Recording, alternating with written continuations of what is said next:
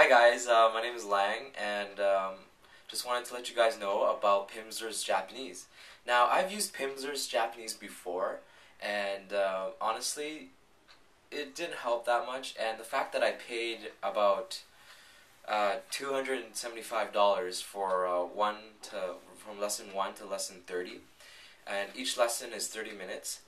And honestly, I didn't uh, I didn't finish all the lessons because the instructions and the way that they teach was really really boring. Um, if you've uh, bought like lessons one to ten, you know uh, Japanese uh, Pimsleur's Japanese. They use um, they talk, so they they say a word. For example, uh, konnichiwa, konnichiwa, and then they say the last syllable first, and uh, so that you can understand. Well, that's fine and all, but just the fact that like the way that they say it and the way that they explain things is really, really, really boring. Like it's dreadful.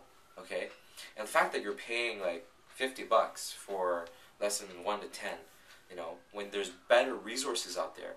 Now I found a website called JapanesePod101.com. Uh, actually, you can check the link in the sidebar.